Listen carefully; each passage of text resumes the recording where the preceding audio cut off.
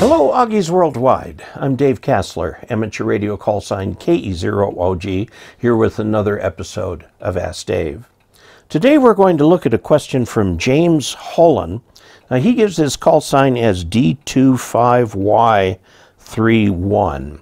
And uh, I don't interpret that as a call sign. Maybe that's uh, meaning something else. Um, he says, I am using an end-fed half-wave 40 through 10 antenna in the bed of a pickup truck. So uh, I guess he's got some sort of a mobile uh, setup that he can use. Um, the center mast of the antenna is a total of 15 feet high. Well, I know that's not terribly high, but it'll still work uh, for nearby stations. You're going to get a signal that goes largely up. Uh, with the metal from the truck, will the metal from the truck interfere with the radiated signal? says, thank you, Sir James Hollen. Will it interfere? It will not interfere per se, but it will affect. Remember that the first the first rule of antennas is that everything affects everything, and you got a great big hairy old metal object. Although these days there's a lot more plastic. Let me back out on this thing so we can see what's going on here. We've got a pickup. Let's see how good I am at drawing a pickup.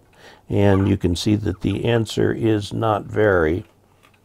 My wife has uh, all the uh, talent in the family.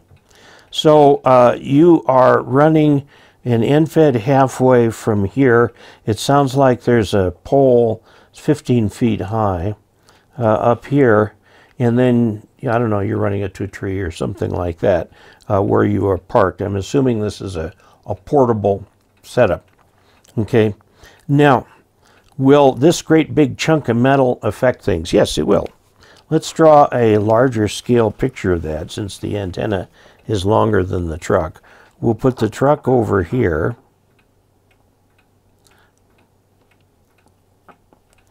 Don't cringe too bad, please. So you've got your 15 foot pole, and then I'm going to think this goes on over here to a tree or something. Okay? And this is end fed here. All right. Now, on the um, the balun that is right here, there are two elements. The balun has a um, feed point.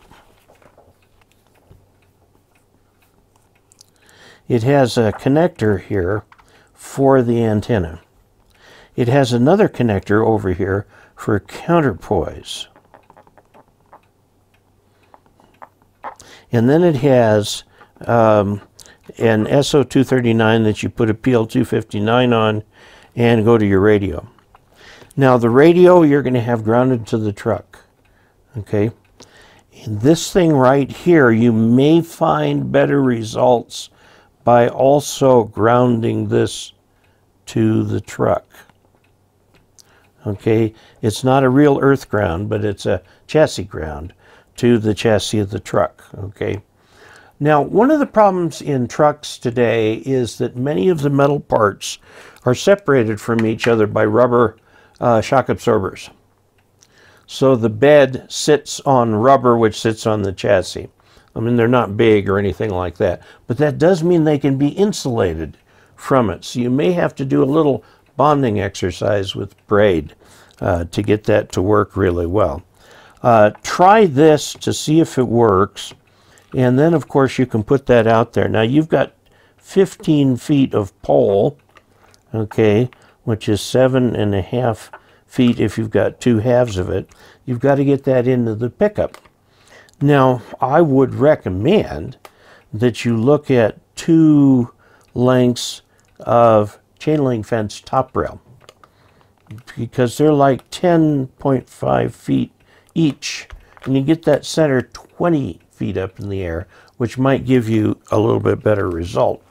Um, if you look at the, the pattern, and we're looking along, here's the front of the truck right here.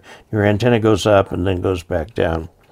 Your pattern, because of the lowness here, is going to be kind of high. Okay? And anything you can do to raise the center of that will move the pattern down and you'll get further out. Okay?